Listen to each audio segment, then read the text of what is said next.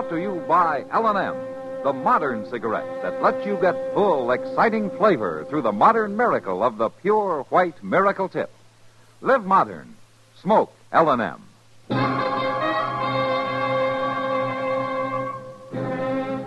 Around Dodge City and in the territory on West, there's just one way to handle the killers and the spoilers, and that's with a U.S. Marshal and the smell of gun smoke.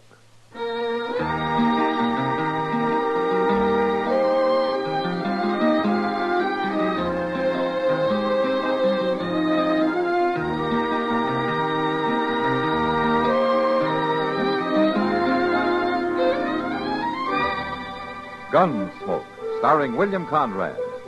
The story of the violence that moved west with young America. And the story of a man who moved with it. I'm that man. Matt Dillon, the United States Marshal. The first man they look for and the last they want to meet. It's a chancy job, and it makes a man watchful and a little lonely.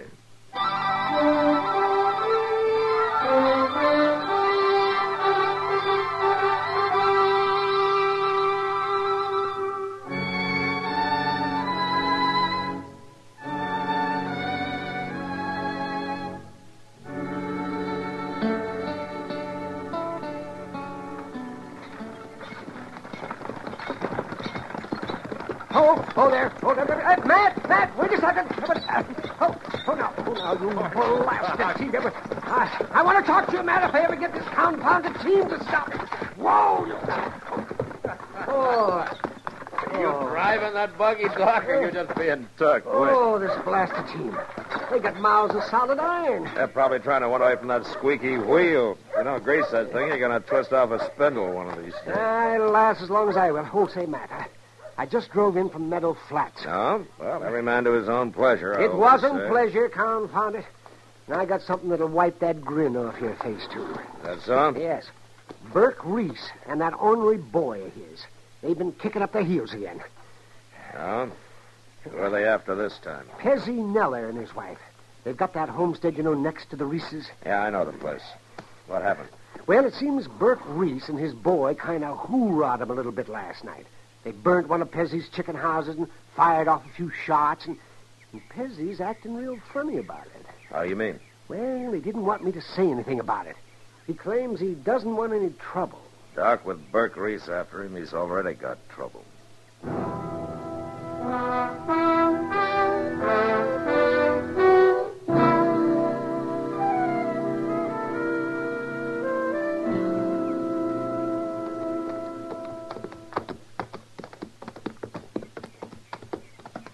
There's old Pezzy, Mr. Dillon, scratching around the ashes there.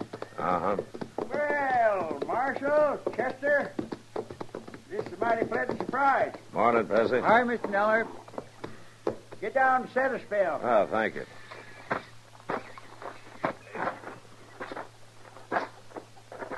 Cora's got some coffee on. Be ready directly. Oh, fine. We could do with some. Oh, looks like you might have had a little trouble out here last night, Pezzy. Trouble, Marshal? Well, that chicken house burnt right down to the ground. Oh, yeah. Yeah, but the studding ain't hurt much.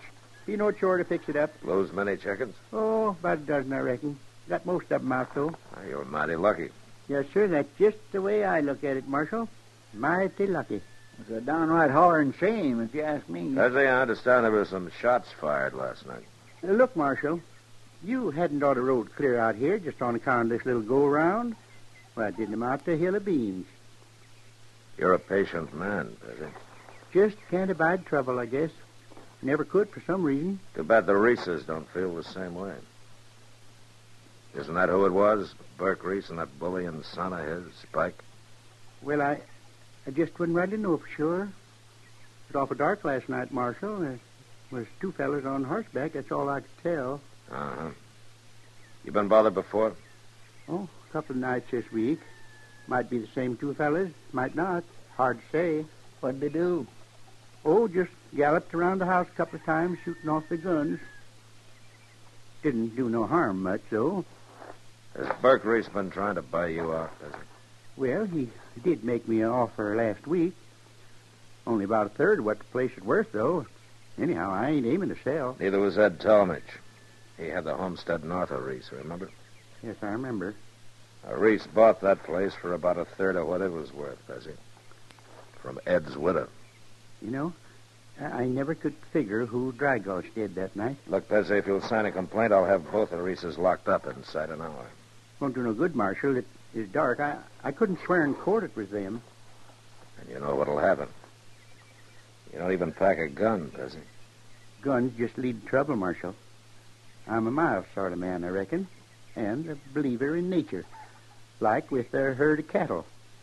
Storm comes up, they just turn their tails to the wind and wait it out. A man can learn a whole lot from animals. Sure he can, Pezzy. But Burke Reese learned his from a mountain lion.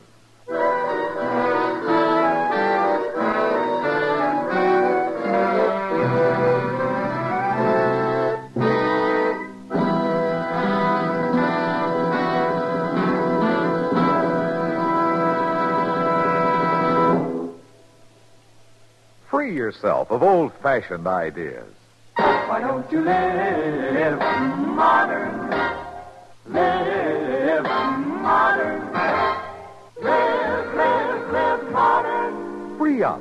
Freshen up your taste. Smoke an L&M. Live modern. Smoke modern. Smoke L&M. Enjoy full, exciting flavor through L&M's pure white miracle tip. L&M draws easier. Tastes richer. Smokes cleaner. That's why today more people are changing to L&M than to any other cigarette. So free up.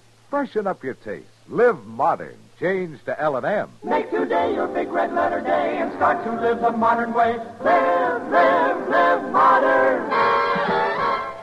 Smoke an L&M. It's America's fastest growing cigarette.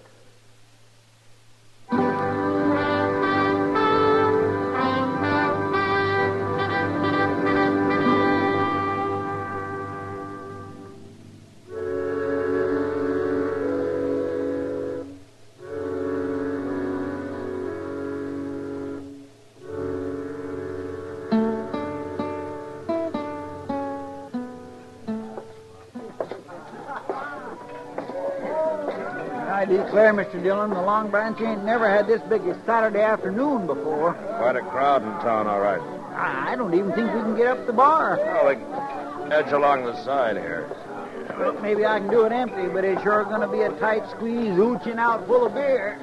You get that full, Chester, and I'll leave you here. Imagine you in here in daylight. Uh, Chester needed a beer, Kitty. Oh, he brought you along to chaperone him, huh? Oh, I got a hunch you brought me along to pay for it. How you been? No complaints. Look at this crowd. You ever see such a mob? Yeah, from the looks of things, the fights will be starting even before dark. Yeah. Uh, want to have a beer with us? No, thanks. It's too early for me. But if you're around about 3 a.m., I'll have some supper with you. Sounds good. Try to make it. Well, he seems happy enough. That's old Burke Reese, Mr. Dillon. Yeah. And Spike along with him. Now, there's a pair that's due for a hanging. They're overdue, Kitty. Well, howdy there, Marshal. Mighty nice to find you on the job. Ain't that right, Spike, huh? You know, I can usually find some good in anybody, but those two. Especially after they murdered Ed Talmadge last year. There was no evidence, Kitty. No witnesses. Well, all right, Matt, but everybody knew they did it. Yeah, but the law has to go on proof, or it stops being the law. But people are afraid of him, Matt. They're afraid even to go into court and tell what they know. Matt, No? Matt, come here. Uh, just a minute, Doc. Come on, Chester. Let's see what he wants. Um, I'll talk to you later, Kitty. Don't forget, Matt, supper at three. Yeah. Out there in the street, Matt, some folks got themselves in a peck of trouble. Oh, Uh, Pezzy Neller and his missus. When they come out of Jonas's store and started to drive off, the team pulled the front axle out from under the wagon. Let the whole bed drop right down into the street. I see. Uh, look, uh, you better stay here, Doc. Uh, excuse me. Would you let me through here, please? Yeah, stand, stand back. Excuse me, please. Oh, now, ho, ho, ho there, ho, ho. Looks like you had a little trouble there, Pezzy. Oh, oh, hello, Marshal. Yeah, I, I reckon the kingpin must have fell out. Kingpins don't fall out, Pezzy. They fit in from the top. Hmm. eh, Guess to do with that. Well, then it uh, must have bounced up and fell out over the top somehow. Uh-huh. Did you see Burke Reese take that pen out? No, sir, can't say I did, Marshal. Uh, me and Cora was inside the store there. All right, what about the rest of you? Any of you see Burke Reese or anybody else fooling around this wagon? Not one of you saw a thing, huh? Uh, don't bother about it, Marshal. We just lost a little flowers, all. About all we bought, in fact, except a roll of heavy wire for a clothesline. Of course, it wasn't hurt none. You all right, Miss Noah? It ain't nothing, Marshal. Just cut my mouth a little. You better let Doc take a look at it. Oh, the bleeding's pert near stopped. Reckon I bumped it on the kickboard when I got throwed out. Pezzy, if you don't care about yourself, you might think about your wife here. Now, don't you go plaguing him, Marshal. Pezzy's been taking care of me for a good lot of years now. And he ought to keep on doing it, ma'am. Pezzy's got his principles, Marshal, and I respect him for 'em. He's a mild man, and he can't abide violence. All right. All right. Uh, some of you men give him a hand there, will you? Come on, Chester. Yeah, you sure can't help him much when he won't lift a hand to help himself. There's one way I can, Chester. I don't like doing it, but somebody's got to. What's that? I'm going to show Burke Reese up for the coward that he is.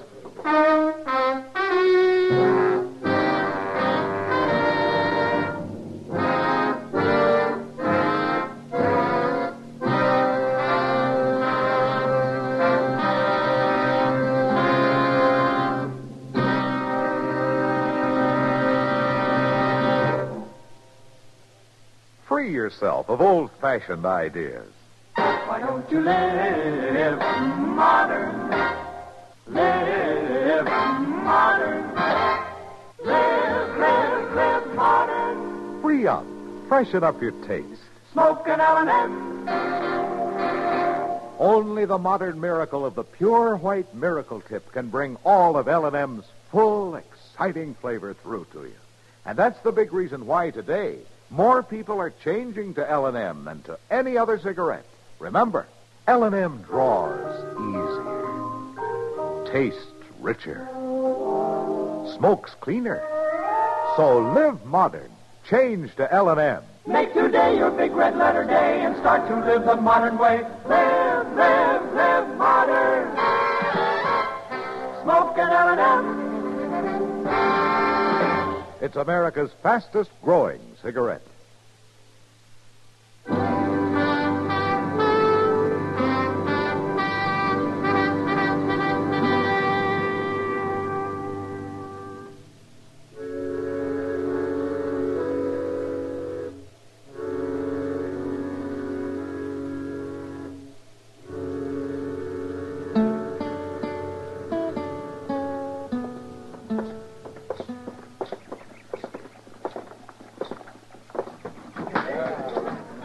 Are, Mr. Dillon, sitting over there at the poker table. All right, Chester, you move on down there by the end of the bar. Just keep him off my back, that's all. All right, sir. But you watch him, Mr. Dillon, make him be awful mean. What was the trouble out there, Matt? I didn't hear any shooting. Later, Kitty. Right now, you better stay clear. Matt, where are you going?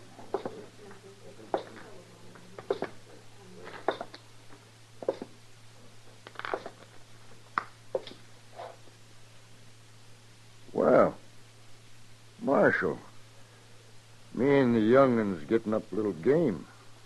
Like to sit in? Would you? Reese, you're a filthy murdering coward. Now, you got no call to talk like that, Marshal. You shot Ed Talmadge in the back last year so you could buy out his homestead. That so? Now you're after Pezzy Neller. You shot up his place a couple of times and burnt one of his buildings. Pezzy say all that, did he? As he's not one to stick up for his rights, so somebody's got to do it for him. Reese, I just called you a rotten coward. Hold it, Spike. That's just what he's trying to get us to do. It won't work, Marshal. I ain't gonna draw on you. Of course not. You're too yellow, both of you. Except with a man like Pezzy Neller who doesn't wear a gun. He ain't drawing, Marshal. Didn't you hear me, Burke? I called you a lying coward. I'm sitting right here. No, you're not. Now get up on your feet. Get up. I know you, Marshal. You'd never shoot a man down cold. I wouldn't. Spike, reach over slow. Unbuckle my gun. You belt. touch that belt, Spike, and I'll blast you out of your chair. All right. Leave it, Spike. But I still ain't making no move. No? Well, maybe this will do it.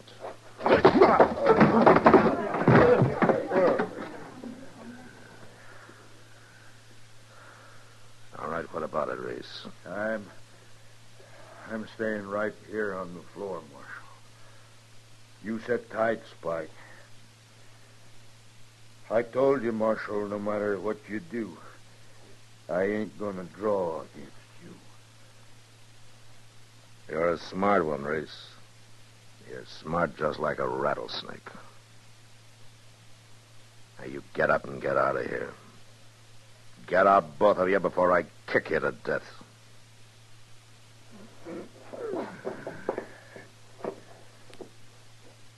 Come on, Spike.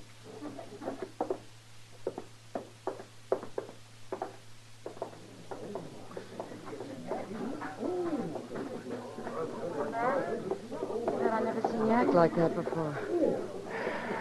Yeah, I know, Kitty. Not that I blame you. I know they wouldn't draw either one of them. I just wanted to show them up for the cowards they are. Well, now I'm afraid there's only one more thing I can do for Pezzy Neller. What's that, Matt? Attend his funeral.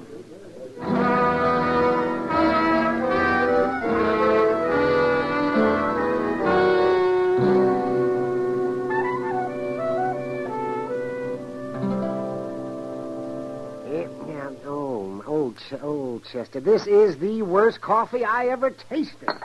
I drunk better than bombing fluid. Well, you kept your mouth shut, Doctor, after you'd swallowed three whole cups. Well, no wonder my throat was still paralyzed from the first swallow. Well, you're sure losing a lot of sass for being paralyzed in the neck. You want some more, Mr. Dillon? Oh, not right now, Chester. By Jim, you complain about it, Doc, but I notice you always come hot-footing over here first thing when you wake up. It's a trial by torture, Chester.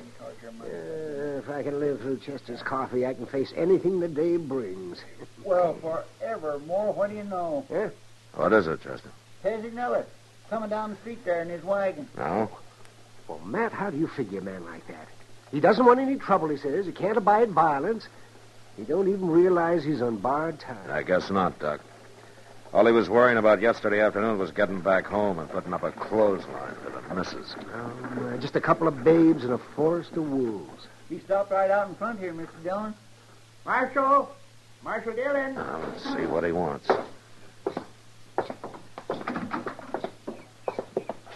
Morning, Pezzy. You're up early, aren't you? Reckon I am at that, Marshal. Oh, hello, Doc. Mighty glad to find you here. Are there something wrong? Well, in a way, I guess there is, Marshal. Had a little accident out at our place during the night. Accident? Who? Doc, I reckon you better take a look there in the wagon bed. Just throw back the cover. All right. Give me a hand here, Chester. All right, Don. Mighty sorry to have this happen, Marshal, but it's just one of them things that couldn't be helped, I reckon.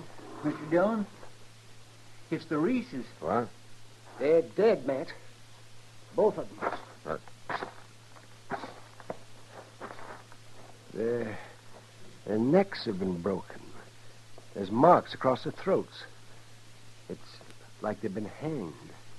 Yes, sir. That's exactly what I said to Cora this morning when we found him laying there. Looked like they'd been hanged, what I said. Found him where, Pezzy? What happened? Well, sir, me and Cora woke up last night and heard some shooting and hurrahing like them other times. Yeah? Only it stopped all of a sudden and the horses galloped off, so we went back to sleep. This morning when I come out, I found these two laying right there in my chicken yard that are in doornails. Now, go on. Well, I figured it was that doggone clothesline, Marshal. I put it up good and solid, 'cause Cora always hates to have her wash get down in the dirt. And I reckon these two just didn't see it in the dark that way. They rode right into it. Huh? Man's got a number 20 rigging cable hooked under his chin and a galloping horse stretching his feet in the stirrups. Well, sure don't do his neck no good. No, sure doesn't. Well, uh, you better take him down to the undertaker's. Yeah, all right. I'll ride along with you, Pezzy. Might as well earn my fee. Well, I'm sure sorry to put you fellas out this way, but man can't be expected to go around warning all his neighbors every time he puts up a new clothesline. No, I guess not, Pezzy. At that, I got to change the darn thing when I get back home. Put it a foot and a half too high for some fool reason. Why, Cora can't even reach it. Come on, get up, boss. Stop in to see us, Marshal, whenever you're out our way. Yeah. Yeah, well, I will, Pezzy. Well, Chester, never sell a mild man short. Well, you said them Reeses was overdue for hanging, Mr. Dillon. Yeah. yeah they're sure not overdue anymore.